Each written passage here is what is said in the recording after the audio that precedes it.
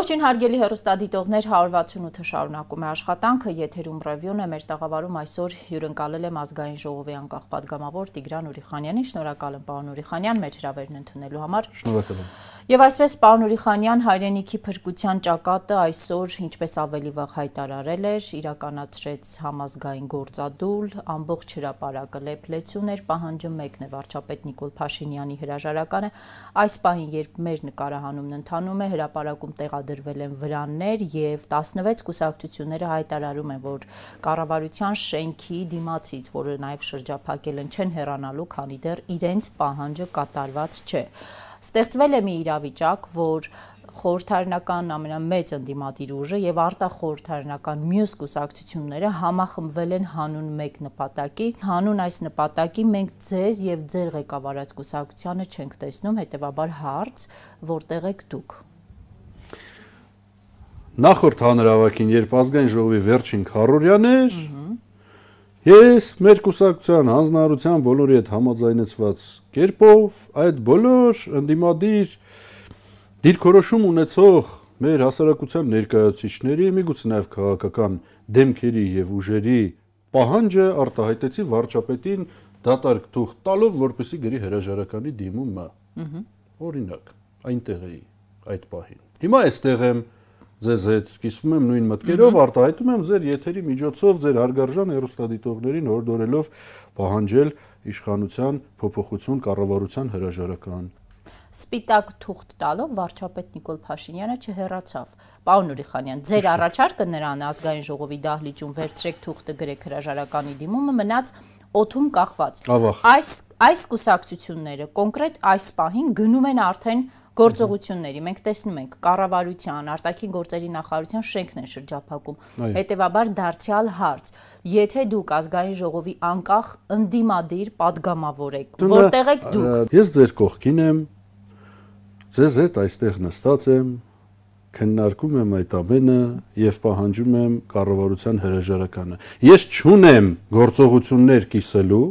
չեմ սեթևելու, շատ ուղիղ պատասխանելու եմ։ Ես տալու եմ այն ինչ որ դուք ինձանից ուզում եք պատասխանի ձևով առնվազն չունեմ կիսելու գործողություններ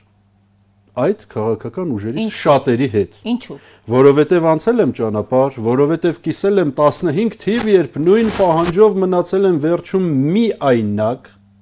Ժողովրդին տված խոստումս այնուհետև ազգային ժողովում իրականացնելիս, երբ ազատության հրապարակից ու այդ համաժողովրդական ալիքից ընդամենը 1 падգամավոր վերադարձավ ու քվեարկեց այնպես ինչպես խոստացել էր։ Իսկ մնացած կոկորտ պատրողները նույնիսկ չզանգեցին հարցնեն այս իշխանությունը, որ ուղիղ տեքստով այսօր ասեց, գործողություններ են ձեր հանդեպ տեղի ունենալու։ Հիշում եք ոնց էին ձերփակալում, ճնշում, բռնում, դատում, սարքում։ Հիշում եք, պարոն Ուրիխանյան, բայց հիմա 15 թիվը չի, հիմա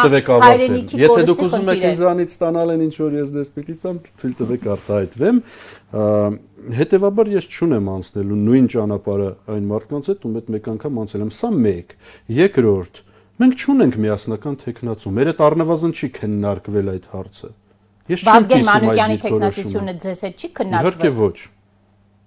Միգուցե պետք էլ չէր որ քննարկվեր, միգուցե մենք այդքան մեզանից չենք էլ ներկայացնում որ քննարկվեր, հետեւաբար մենք առնչություն չունենք չունենք առնչություն, սա է պատասխանը։ Չեք կարծում, որ ձեր վերած պատճառները կուսակցական նեղ ամբիցիաներ են, տարաձայնություններ են, որոնք այո բոլոր կուսակցությունների մեջ կան, բայց նրանք այդ 16-ը կարողացել են դրանք դնել մի կողմ եւ համախմբվել հանուն մեկ նպատակի հայրենիքի փրկության հիմա դուք կարծում որ հայրենիքի փրկության ժամանակաշրջանը նաև այն ժամանակաշրջանն էր երբ որ Նիկոլ Փաշինյանին վարչապետ էիք կարգում քարոզում գովազդում ընթառաջում օգնում եւ քվեարկում իր օգտին, այդ թվում այն մարդիկ, ովքեր այսօր հրաապարակում կանգնած պահանջում են նրա օր առաջ հեռանալը հայրենիքը փրկելու համար։ Եկեք փաստերը արձանագրենք։ Արցախի կապիտուլյացիայի ակտ այն ժամանակ չկար, հիմա կա, իրավիճակ է փոխվել, պարոն Ուրիխանյան։ Իսկ երբ որ Արցախի կապիտուլյացիայի ակտ չկար ու ասում էինք, որ սա հղի է նախ եւ առաջ պատերազմական գործողությունների անհամադրելի ուժերի արկայության դեպքում կորուստների հետևանքով ով էր լսողը, բայց դա մի կողմ թողնենք, այսպիսինն է մեր դիրքորոշումը, այո, Մենք պահանջում ենք նրա հրաժարականը, ձևավորում ենք այդ հանրային կարծիքը, ամսի 26-ին ընդամենը օրեր անց հանդես են գալու համագումարով, լավ, լուրջ, պատկառելի, massայական, կադրային լուրջ բազայով հիմնավորում ենք դա ի տարբերություն մարդկանց, ովքեր ասում են հայրենիքը պետքա փրկել, ասենք մի 10 տարի կամ 20 տարի ամեն ինչ արել են, որ հայրենիքը գլորվի ներքև, հիմա ուզում են փրկել, այդպիսի մարդիկ էլ կան այդտեղ եւ այո, ինձ համար անընդունել են։ Մենք հիմնավորում ենք դա, ինչպես հայրենիքը փրկել եւ ինչի պիտի էս իշխանությունը, որը կրում է պատասխանատվություն, ինչպես ինքը ասում է, նաև պիտի դրա հետևանքները կրի նախևառաջ հեռանալու ձևով։ Ձեր ասածը ընդդիմադիրների ասածից որևէ բանով չի տարբերվում։ հա, Դուք դե, որպես ընդդիմադիր падգամավոր ազգային ժողովի եւ այն 16 ուժերը եւ նրանց առաջնորդները, որոնք հավաքվել են, դուք երկուսը եւ դուք եւ 16 ասում եք նույն բանը, հա, բայց նրանք գնում են գործողությունների, ձևավորել են միասնական օրակարգ, դուք 16-ից առանձնացել եք, չեք կարծում, որ լինելով ընդդիմադիր, առանձնանալով ընդդիմադիրներից եւ նաեւ ինչ որտեղ քննադատելով ընդդիմադիրներին դուք պարզապես ջուր եք լցնում իշխանության ջրաղացին, պարոն Միխայյան։ Ընդդիմադիրներին չեն քննադատում։ Ես միշտ ասել եմ ընդդիմության մասին ոչինչ, որովհետեւ ես իրենք չունեմ նրանց քննադատելու հակառակ դեպքում այո ջուր կլցնեմ, հիմա դրա համար դուք դրթում եք ինձ այդ ուղությամբ, հարց աստեղ առաջանում, այդ ով է իշխանության ջրաղացին ջուր լցնում, բայց դա մի կողմ։ Դուք լինելով կիրթ մտավորական մարդ, անշուշտ Հանճարեղ Բուլգակովի բոլոր այդ թվում հիմնական ստեղծագործությունները կարդացել եք։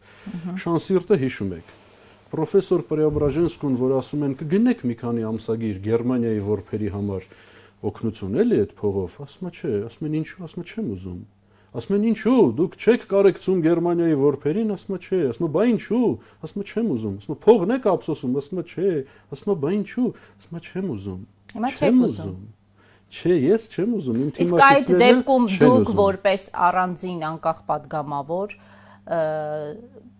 կուսակցությունը ինչ ռեսուրս ունեք այդ դեպքում հասնելու Նիկոլ Փաշինյանի հրաժարականին։ Այո, կարող եք ճուզել, կարող եք առանձնանալ։ Չի ուզում նաև նրանց միանալ ազգային ժողովի մյուս ընդդիմադիր խմբակցությունը Լուսավոր Հայաստանը, բայց ի տարբերություն ձեզ Լուսավոր Հայաստանը ունի խմբակցություն, ունի падգամավորների քանակ 18, եթե ճիշտ եմ հիշում, այսինքն որոշակի ռեսուրս Էդմոն Մարուկյանը ունի։ Հետևաբար երբ ասում է ես չեմ սատարում 16-ին, ես ես եմ վարչապետի թեկնածուն չեմ սատարում միասնական տեխնացուին, գուցե դա հասկանալի է։ Ձեր ռեսուրսը որն է, պարոն Ուրիխանյան, դուք միայնակին չեք անելու։ Մենք տարբերություն այլոց չենք հավակնում որևէ դիրքի հատկապես այս վիճակում, երբ որ մարդիկ նախ եւ առաջ խնդիր ունեն պրոթեզավորման, խնդիր ունեն պարտկվարկ փակելու, խնդիր ունեն շարունակաբար չկոտորվելու այդ թվում պատերազմի շարունակվող սպառնալիքի դեպքում, մի քիչ ուրիշ մտածելու բաներ ունենք էլի։ Իմ անձնական ռեսուրսը այո խորհրդարանում 1 մանդատն է։ Քվեարկության ժամանակ 1 կոճակն է, 1 դիրքորոշումն է, որը Փարք Աստծո միշտ եղել է ժողովրդի շահից բխող եւ շարունակելու է լինել առնվազն ժողովրդի բացարձակ մեծամասնության։ Սա իմ ռեսուրս, այո, համեստ ռեսուրս է։ Մեր կուսակցական ռեսուրսը կտեսնեք ամսի 26-ին։ Նաեւ ռեսուրս է խոսել կարծիք հայտնելը, նաեւ ռեսուրս է որոշ բաներ կազմակերպելը եւ վերջապես ելք ցույց տալը, ելք վազելով բոլորս գնանք հրաապարակ, եթե հրաապարակում հնչի ելք։ Հրաապարակում հնչում է 1 1 1 մաս, 1 բան, 1 հատված ելքից, 1 էպիզոդ ելքից բարի բուն իմաստով էլի ոչ թե նախքին ելքից, թե չէ հիմա որ ելք ենք ասում, մարդիկ տվայտվում են ու ճիշտ են անում։ Այո, հրաժարական, այո, իշխանության փոփոխություն եւ այլն հետո 2 միլիարդ ճեղքվածքը պատերազմից առաջացած միլիարդից ավել է կորոնայից համավարակից բխող եւ այլ ճգնաժամից պատերազմի նաեւ հետևանքից առաջացած մյուս միլիարդից ավել արտաքին պարտքի սպասարկումով հանդերձ երբ որ սահմանին կրակում են այդ կրակոցները ով է կանգնացնելու ո՞նց է կանգնացնելու ես չեմ կարողանում այս հարցի պատասխանը տալ Երբ որ դուք ինձ հարցնում եք ինչպես եք լուծելու խնդիրները, ես չեմ կարողանում։ Ոնց եք ապահովելու իմ անվտանգությունը։ Նիկոլ Փաշինյանը գնաց։ Չէ, ես ձեզ դա չեմ հարցնում, պարոն Ուրիխանյան։ Ես ձեզ ասում եմ հետեւյալը։ Բայց ես իմ օրը անցկացնում եմ։ Դուք ձեր օրակարգը, որ ասում եք ես սպիտակ թուղթ տվեցի, որ Նիկոլ Փաշինյանը գրի հրաժարական։ Դիրքորոշում հայտնել էր, էլի։ Ա, դուք հիմա ինչպես եք հասնելու դրան ձեր դիրքորոշումը ինչպես է դառնալու գործողություն, ինչպես եք հասնելու դրան, եթե դուք դա անող մարդկանց չեք սատարում։ Իմ հարցը շատ པարզ է։ Ինձ տալիս եք այնպիսի անհամեստ հարցեր, ես իմ խելոք, խեղճ, համեստ, զուս, փոքր նվազ հնարավորություններով ոնց կարող եմ մտածել դրա մասին։ Ես կարող եմ կարծիք հայտնել, դիրքորոշում հայտնել։ Եթե դուք կլսեք, եթե մարդիկ կլսեն, կընդունեն, կմիավորվեն, կհավաքվեն, միգուցե մենք շատանանք, հզորանանք, ուժեղանանք եւ արդեն հավակնենք հարցը լուծելուն, բայց հիմա այդ հարցը մի տվեք, ես չեմ հավակնում դրան։ Նպաստել, այո, կարող եմ։ Դե դրա համար էլ ինչպես արձանագրում եք, հայտնում եմ նույն դիրքորոշումը կքվեարկեմ նույնպես թիմակիցներիս հետ նույն Ինչպես կքվեարկեք։ Օրինակ ազգային ժողով է հասնում վարչապետի տեխնացու Վազգեն Մանուկյանին ընտրության հարցը ինչ կերպ եք քվեարկում այդ դեպքից հետաքրքիր է։ Հասնի կքննարկենք դա, բայց Նիկոլ Փաշինյանի հրաժարականի ժամանակ կքվեարկեմ իհարկե։ Դուք նոր խոսում եք ժողովրդական լայն զանգվածների մասին, օրինակ հիմա ինձ հարց է տակրկրում։ Հրապարակում հավաքված բազմությունը, այսօր հրապարակում հա- հավաքված բազմությունը ժողովրդական լայն զանգված է թե ոչ։ Ժողովրդական լայն զանգված է թե ոչ, պարոն Ուրիխանյան։ Հիմա այդ մարդիկ Ավելին ասեմ, ներեցեք, ավելին ասեմ, օգնեմ ձեզ։ Կարող է հրապարակում չհավաքվեն մարդիկ, կարող է ինչ-որ միտեղ չհավաքվեն կամ հավաքվեն քիչ հավաքվեն, բայց մեկը ժողովրդի 80% առնվազն այսօր պահանջում է պատասխան տալ իշխանությունից ու հեռանալու ձևով նախև առաջ։ Այդ դժգոհությունը մեկը Քայլերը նաև պահանջում է 80%-ը քաղաքական գործիչներից պահանջում է քայլեր։ Ճիշտ այդպես հիմա նորից գալու հարցին ձեր քայլը քայլ եմ արել, եկել եմ ձեր տաղավար, բանում գործս թողած համագումարից երկու օր առաջ, եկել եմ ձեր տաղավար, համոզում եմ ժողովրդին, որ Նիկոլ Փաշինյանը պիտի պատասխան տա։ Այսինքն ձեր քայլերը նպաստում են հրաժարականին։ Պետք է մենք ակնկալենք քայլեր միայն հանրային կարծիքի ձևավորման դաշտում։ Ինչու միայն։ Այս պահին միայն դա է։ Վաղ առավոտից կուսակցական բոլոր կառույցներում, մինչև ականջներիցս մուխ թողնելը բարի եւ բուն եւ փոխաբերական իմաստով էս գործն եմ անում։ Հիմա գանք ժողովրդի լայն զանգվածների հետ կապված Նիկոլ Փաշինյանից գրառումից մի մեջբերման։ Ասում է, որ Հայաստանում իշխանությունից զրկված էլիտան փորձում է հասնել ռևանշի, ընդ որում խոսքն ամենևին քաղաքական էլիտայի մասին չէ, այլ բոլոր նրանց, ովքեր մինչև 2018 ունեցել են արտոնություն, 18-ից հետո չունեն։ Հիմա հարց. Արդյոք համամիտ եք, որ քաղաքական էլիտան ձգտում է ռևանշի, որպես ազգային ժողովի անկախ падգամավոր, ընդդիմադիր падգամավոր ինքներդ ձեզ էլիտա եք համարում, թե Նիկոլ Փաշինյանի պատկերացրած ժողովուրդն եք դուք։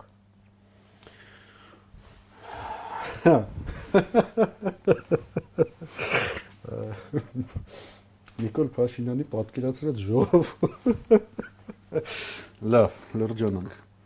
Նիկոլ Փաշինյանի պատկերացրած ժողովուրդ ձևակերպումը ինձ համար անհասկանալի է ամենայն հավանականությամբ մտավերլուծական կարողությունների սնանկ լինելու պատճառով։ Ինչ վերաբերում է էլիտային, կորցանված է այն քաղաքական գործիչը, որն իրեն էլիտա կհամարի Քաղաքական գործիչ ես դու թե գործիչ չես ընդհանրապես, առավել եւս էլիտա ես թե էլիտա չես, ժողովուրդը պետք է որոշի, ժողովրդի գոնե որոշակի հատվածը, բա ես ոնց կարող եմ այդ հարցին հարցին նույնիսկ հավակնել պատասխանել, խնդրում եմ զերծ պահեք։ Չեք ուզում պատասխանել հարցին, դուք էլիտա եք թե ոչ։ Չեմ էլ համարցա, իհարկե ոչ, ժողովուրդը է որոշի։ Ես ինձ էլիտա համարեմ, դրանից հետո իմ վրա չեք ծիծաղա։ Ժողովուրդն եք Նիկոլ Փաշինյանի պատկերացրած։ Ես չեմ ուզում ծիծաղի եւ էմոցիաների վրա, երբ որ երկրում տիրում է թշվառ ներքին հոգեկան եւ հոգեբանական վիճակ, ծախսել հատկապես եթերային ժամանակ, բայց որ ասում եք Նիկոլ Փաշինյանի պատկերացրած ժողովուրդ, ես դա չեմ հասկանում։ Ծնված յուրաքանչյուր անznավորություն, ով ստանում է Հայաստանի Հանրապետության քաղաքացու անznագիր, պատասխանատվություն է առաջացնում իշխանության եւ պետական կառավարման տար հանդիսացող յուրաքանչյուրի նկատմամբ միջև վերջին աստիճան, ով կփորձի առհամարանքով խոսել, նույնիսկ իր նկատմամբ հակադիր կարծիք հայտնած, իրեն հայ հոյած քաղաքացու հանդեպ դատապարտվածա անարգանքի սյունին գանվելու։ Ունենք մեկ ժողովուրդ, ու այն ճիվաղները, որոնք որ ժողովրդին սկսեցին ջարդել, բաժանել, սև ու սպիտակ սարքել, կոտորել նախև առաջ ներսում, հոգուց իրար հանդեպ թշնամանք առաջացնելով հանդերձ քանդել երկիրը ներսից նախ եւ առաջ դրա մեղավորն է համամիտ է կարծիք որ 16 կուսակցությունների պահանջը ռևանշ է Դե դուք պարադոքսալ բան եք ասում, պարադոքսալ ինչ իմաստով ձեր հարցով հակասում եք իրողությանը, այսինքն ինչ է նշանակում ռևանշ, այնտեղ մարդիկ կան այդտեղ, որոնք երբևէ չեն եղել իշխանության մեջ։ Հիմա եթե չեն եղել, ի՞նչն են ռևանշ անում։ Ահա։ Մարդիկ կան, որոնք եղել են։ Կարող է եւ ռևանշ են անում, չգիտեմ։ Հիմա ձեր հետ կապված եւս մեկ հարց, ինձ համար այս հարցազրույցի ընթացքում անհասկանալի մնաց հարցի ի վերջո որպես անկախ падգամավոր դուք ինչ կեցվածքով եք լինելու, ինչ դիրքորոշում եք ունենալու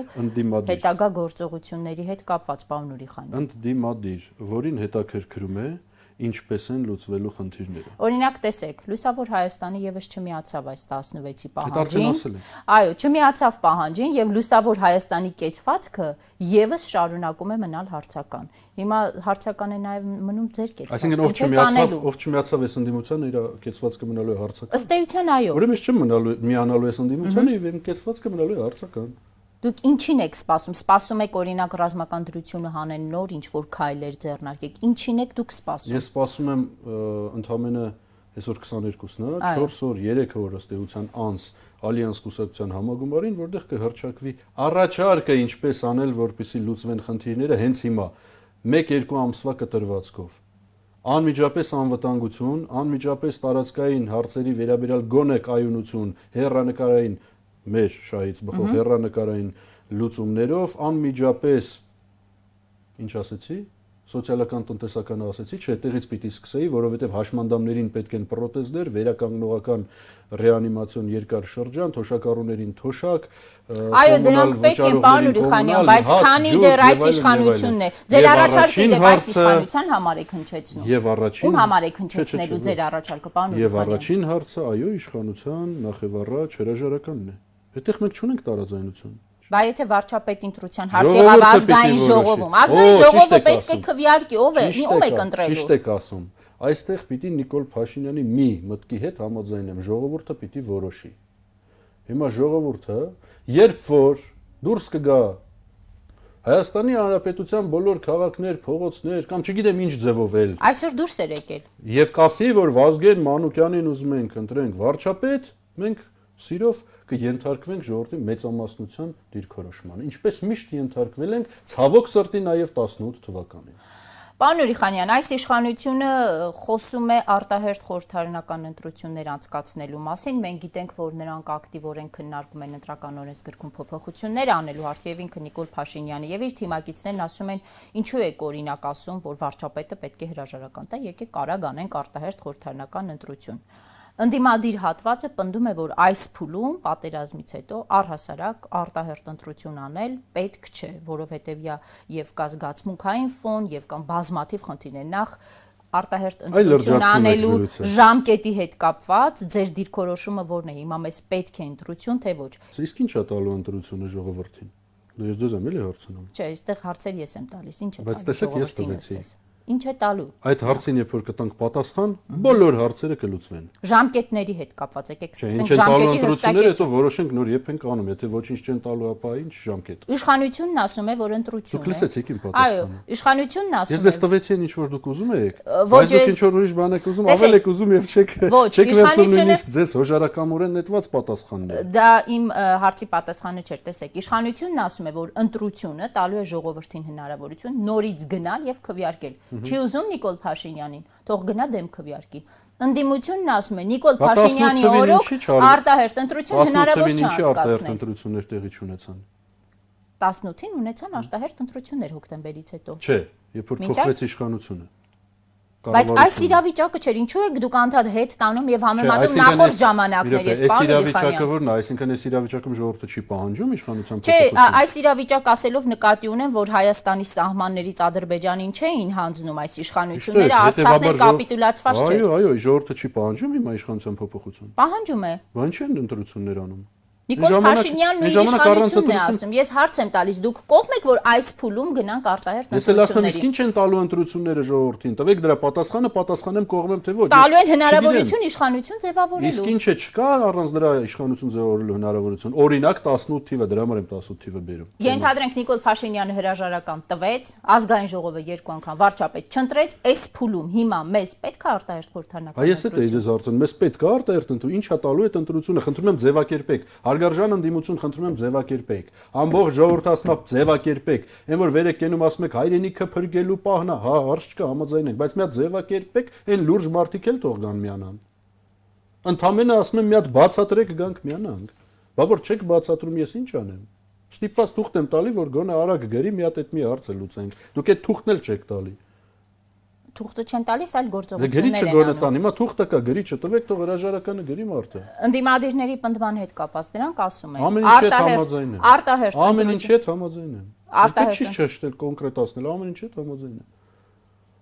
Բայց ամեն ինչի հետ համաձայն։ Արտահերթ ինչ է, արտահերթը նոր այդքան խոսեցին։ Խորհրդարանական ընտրություններ։ Հա ինչա տալու դա ժողովրդին ասում են ընդդիմադիրները ինչա տալ։ Ընդդիմադիրները ուզում են արտահերթ լինի։ Այո, բայց ոչ հիմա, ոչ հիմա, ոչ հիմա, 1 տարի անց հիմա իշխանությունն է ուզում արտահերթ խորհրդանական Դե դե ասում, դե թող գան պատասխանեն։ Չէ, դե ես ներողություն, հիմա մնացել էր այս իշխանության ամբողջ իմ կյանքում 5 կառավարություն եմ ճանապարհել, սա ոնց որ 5-րդն է լինում, հեսա ճանապարհում ենք մնաց իշխանության տեղը պատասխան չէ իշխանության տեղը պատասխան մի տվեք վերջին անգամ եմ հարցը տալի Տիգրան Ուրիխանյանի դիրքորոշումը ինչպիսին է մեզ արտահերտ ընտրություններ պետք են արտահերտ խորհրդարանական ընտրություններ պետք են թե ոչ հիմա այս փուլում եւ ոչ թե օրինակ 1 տարի անց ինչպես համարում են 16 կուսակցությունները կամ պնդում են 16 կուսակցությունները միանգամից ասեք որ բարերով պատասխանեն որ ձեզ ձեռնտու լինի էլի բարերը կապ չունեն ինձ պետք է ձեր դիրքորոշումը հա դե վերջին անգամ է սա այո ել չեք հարցնի ոչ ահա վերջին անգամ ասում եմ Հիմնավորը քննեմ, ինչով են անհրաժեշտ ընտրությունները, եթե դրանք անհրաժեշտ են, ուրեմն պետք են, եթե անհրաժեշտ չեն, ուրեմն պետք չեն։ Պարոն Ուրիխանյան, ես ընդհանրապես կարող եմ բերել իշխանության հիմնավորումը եւ ընդդիմության հիմնավորումը։ Ես իշխանության հիմնավորումը բերեցի։ Եթե իշխանության հիմնավորումը ինձ համար լիներ ընդունելի, ես կասեի իշխանությունը հիանալի է, լավն է, հավերժ է ընդմիշտ է, ոչ մի սխալ չի արել։ Ինձ այդ հարցը սխալ եք տալիս։ Ես իշխանություն պաշտպանող չեմ։ Ընդդիմություն պաշտպանող եք։ Ես ընդդիմության տեսակետն եմ ձեզ ներկայացնում այսքան ժամանակ։ Բայց բաներ կան, որոնց հետ համաձայն չեմ, այդ թվում մարդիկ եւ հետեւաբար ես հերապարակում չեմ։ Առհասարակ դուք ընտրություններին շտապես նախորդող ընտրություններին էլ մասնակցել եք դաշինքներով։ Հետաքրքիր է եթե լինեն չունենալով լայն ժողովրդականություն, չտիրապետելով լայն զանգվածային աջակցության եւ այլ ռեսուրսների եւ ընտրելով հնարավորինս համադրելի նպատակային ծրագրային ուղի հնարավորինս համադրելի։ Այդ այդ մասով գնացել եք դաշինքներով ընտրության հետաքրքիր է։ Դաշինքներով որն է, դե Բարգավաճ Հայաստանի հետ են գնացել։ Եթե ընտրություններ լինի հիմա ում հետ եք գնալու ընտրության։ Բարգավաճ Հայաստանի հետ քննարկել ոչ մի դեպքում չենք կարող չլնող բանա նույնիսկ եթե աշխարհում մոլորակի վրա մեկ ընտրություն լինի ու այդ մեկ ընտրությանը միայն մեկ քաղաքական ուժ մասնակցի մնացած բոլոր հարցերը քննարկման ենթակա են, բայց ամենայն հավանականությամբ ավելին ասեմ վճռական տրամադրվածությամբ, ինչը կարձանագրվի կարծում եմ համագումարին, ապա գնալու ենք ալյանս կուսակցության նախընտրական ցուցակով, եթե ընտրություններ երբևէ լինեն, բայց այդ ընտրությունները կլինեն թե չէ մենք ձեզ այդ հիմա ստեղ վիճում ենք։ Եթե ընտրությունների արտահերթ խորհրդանական ընտրությունների անցկացման մասին խոսում է եւ իշխանությունը եւ ընդդիմությունը, ապա կարելի է ենթադրել, որ այո, լինելու է։ Բայց հիմա դե հիմայի հետ կապված էինք ուզում ձեզնից հասկանալ հիմա անեն ճիշտ թե 1 տարի հետո դուք այն ամենը Ինձնից կհասկանայիք եթե ես ներկայացնեի որևէ հրաապարակ զանգվածում կամ որևէ խմբակցություն խորհրդարանում։ Ես իմ համեստ հնարավորություններով։ Հիմա գանք ձեր համագումարին, պարոն Ուրիխանյանն, ասացիք, որ 26-ին սպասվում է համագումար, մի քանի հարց նշեցիք։ Առհասարակ ձեր հարցազրույցներից 1-2-ում ես նկատեցի, որ դուք խոսում եք միութենական հանրապետության մասին, եկեք մեր տաղավարում էլ խոսենք, ինչու գնանք միութենական հանրապետության, ինչ է դա տալու մեզ, ինչից է զրկելու դա մեզ խոսք է գնացել միջպետական միավորման, միութենական միավորման ֆորմատի մասին, դա արտահայտվել է կուսակցության պաշտոնական հայտարարությամբ ըստ էության, որից եւ սկսել է ամբողջ մեր ներքին գործընթացը ու հանգել միջև համագումար, որը պիտի որոշի այդ հարցը եւ եթե այդպես եղավ, ապա մենք հայտարարել ենք, որ ալյանսն է Հայաստանի Հանրապետության քաղաքական դաշտում հանդես գալիս միութենական ձևաչափի նոր միավորման, ձևավորման քաղաքական պլատֆորմով։ Հարցազրույցները դրանից են բխում։ Կարծիքս հետեւյալն է. կյանքը ցույց տվեց, որ ռազմավարական գործընկերներ փնտրելը մեզ համար անշնորհակալ գործ է Հայաստանի համար, որովհետև կա այդպեսին ընդամենը մեկը։ Լավն է, վատն է, բավարարում է, չի բավարարում եւ այլն, դրանք այլ հարցեր են, ընտրության հնարավորություն չկա, դա մեկն է, դա Ռուսաստանի Դաշնությունն է։ Ռուսաստանի Դաշնության եւ նրա հետ կամ մեզ հետ նաեւ մի քանի երկկողմանի եւ մի քանի բազմակողմանի պայմանագրերով կապակցված հիմնականում ՀԱՊԿ անդամ եւ ԵԱՏՄ անդամ պետությունների հետ ինտեգրման առավելագույն հնարավորությունը մեր կողմից դիտարկվում է որպես խնդիրների լուծում առնվազն մի քանի տասնամյակի կտրվածքով, որովհետև պաշտպանությունն այսօր մեր եւ Արցախի հանրապետության մնացորդների տարածքի իրականացվում է բացառապես պատերազմական գործողությունների դադարեցման կտրվածքով եւ հիմնականում ռուսական խաղաղապահ կոնտինգենտի տարածաշրջանում ներկայության պատճառով։ Այս դեպքում մեկ միջանկյալ հարց էլի տամ։ Չէ, չէ, չէ, ներեցեք, ես կպատասխանեմ։ Եվ անվտանգությունը երկու երկրների Հայաստանի եւ Արցախի մնացորդներին մենք տեսնում ենք բացառապես այդ համատեքստում։ Ռուսաստանն է երաշխավորը, այլ կարծիք մեզանում չկա։ Կարծում եմ այդ կարծիքը կիսում է նաև ժողովրդի բացարձակ մեծամասնությունը։ Երկրորդ, մեզ անհրաժեշտ է շատ արագ ինտեգրվել մեծ տնտեսական տիրույթի մեջ, մեծ, շատ մեծ, որտեղ կլինի շրջանառություն, որտեղ կլինի շուկա, որտեղ կլինեն այո դոտացիաներ, փող, որովհետև նորից եմ ասում են ինչ որ ասում էի սկզբում, բայց դες հետաքրում էին ընտրությունները, իսկ ես կապում եմ մեկը մյուսի հետ, չէ, լուրջ եմ ասում, մեկը մյուսի հետ, որովհետև 2 միլիարդից ավել ճեղքվածքը փակել է պետք, թե չէ թոշակ չեք կարողանալու տակ, իսկ այդ ժամանակ ինչ ընդդիմություն իշխանություն։ Ո՞վ է մեզ տալու այդ 2 միլիարդից ավելը։ Հիմա կասեմ, դրան գումարած էներգակիրներ անպայման նավթ գազ այո մեզ դա պետք է էներգակիրներ որոնց համար անհրաժեշտ են ուղիներ նաև կոմունիկացիաներ հետեւաբար եւ վերջապես տարածք վերջապես տարածք 100 հազարից ավելի արտագնա աշխատանքի մեկնողներ ամեն տարի տասնամյակներով այս տարի չգնացին մնացին այստեղ չապահովեցին իրենց եկամուտը կենսագործունեության սպասարկումը չուղարկեցին գումարներ ընտանիքներին վերջում չեկան ակումուլացված միջոցներով Դրա հետևանքով է նաև սարսափելի բաց առաջանում մեր բյուջեում, ընդհանրապես շրջանառության մեջ տնտեսական հետևաբար սոցիալական վիճակում, սա ընդհանրապես մեկ փոքրիկ օրինակ էր։ Հիմա կանք 2 միլիարդին ով է մեզ տալու դա։ Եվ վերջապես, եւ վերջապես հենց հիմա մարդիկ մտածում են, մեր երեխան գնաց բանակ, կա մեծ հավանականություն, կներեք ես ձևակերպումների համար, թողներեն ինձ նաև ձեր հերոստադիտողները, բայց դա մարդկանց մտքի մեջի բանն է։ Հենց իմ երեխան գնաց բանակ, հենց վաղը իրան կարող է սպանեն, ապահովեք կայունություն, անվտանգության կայունություն։ Եվ դա մենք կարող ենք ստանալ որտեղից օրինակի համար գնանք, ասենք Զամբիայից ստանանք, կարող ենք ստանալ։ Չէ, մենք դա ստանում ենք Ռուսաստանից։ Հիմա հարցս, երբ ուզում եի ձեզ միջանկյալ հարց տայի։ Հայաստանը Եվրասիական տնտեսական միության անդամ է, ՀԱՊԿ անդամ է։ Ինչու դուք չեք առաջարկում դիտարկել արտաքին քաղաքականության մեջ ավելի խորացված նոր որակի հարաբերությունները եւ նախընտրում եք միութենական տարբերակը։ Հնարավոր չէ դա։ Շատ լավ հարց տվեցիք դե նախ մենք հենց այդպես ենք մտածում, որ դա է նոր, ավելի լավ, ավելի նոր, ավելի խորը եւ որակապես այլ ձևաչափը։ Երկրորդ,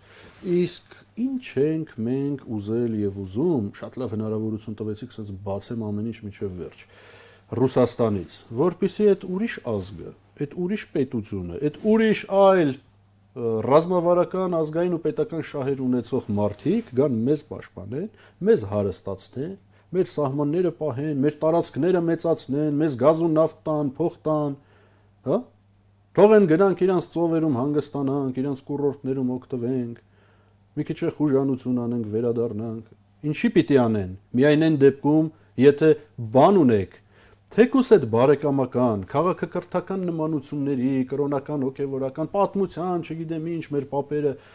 միասին հաղթել են ֆրոնտում այդ ամենի հիման վրա, այո, ինչը մյուսների հետ չունենք Բայց պիտի լինի փոխադարձ շահ միջև մեզանից բան չստանան, մեզ ոչ ոք լավություն չի անելու։ Հետևաբար ռուսը տարածաշրջանում պաշտպանելու է միմիայն իր շահը, իր պետական ու ռազմավարական շահը ազգային, այլ ոչ թե Հայաստանը, որպեսզի Հայաստանը պաշտպանի որպեսի Հայաստանը պաշտպանի, պիտի Հայաստանի հետ կազմի մեկ ընտանիք, մեկ միութենական պետություն։ Եթե ուզում եք փող, ուրեմն փողը պիտի լինի ընդհանուր։ Եթե ուզում եք Նայրիտի պես գիգանտ ունենալ ձեզ մոտ արտադրական, ասենք արդյունաբերական գիգանտ, որը աշխարհում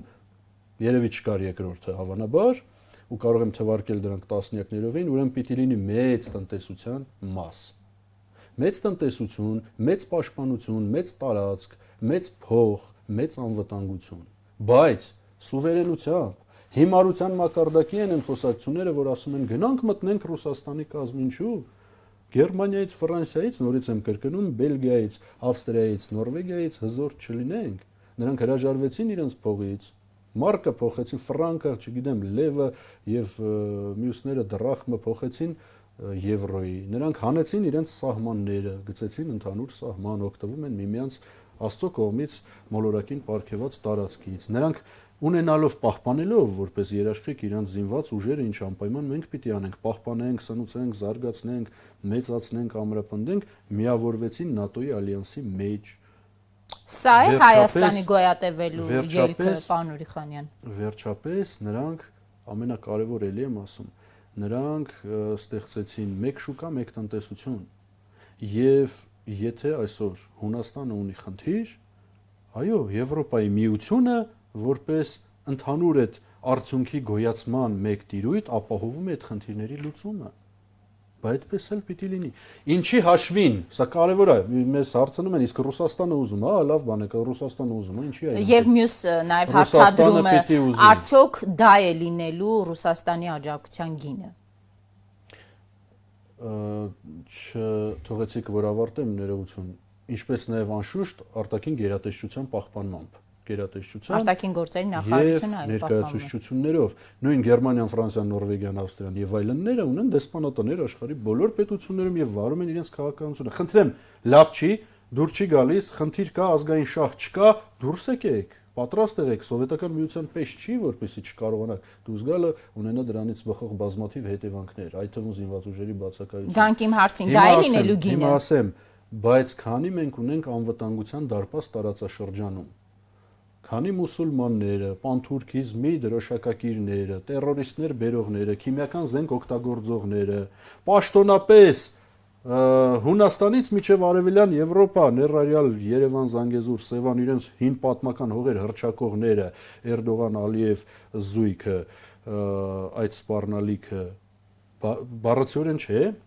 իրագործելիորեն արդեն ապացուցված ձևով ներկայանում է, ներկայացնում են տարածաշրջանում, ուրեմն Ռուսաստանն ունի, այո, շահ այդ անվտանգության դարպասը պահպանելու։ Կորցրեցինք այդ անվտանգության դարպասը առևտրի բարի լավ իմաստով, միջազգային առևտրի, դիվանագիտական առևտրի սեղանին որևէ բան չեն կարողանանու դնել։ Որն է գինը, ինչի գինը Ռուսաստանի մեզ աջակցելու գինը արդյոք դա է լինելու։ Ձեր ընդդիմադիրները եւ ձեզ քննադատողները վստահաբար այդ հարցը ձեզ կտան։ Ինչ Ռուսաստանը դեռ պիտի աջակցի, որpիսի մենք լինենք կայուն, անվտանգ, որpիսի մենք սկսենք մտածել նաեւ այո, մեր կորցրած տարածքների մասին, ոնց դա հետո է արծա,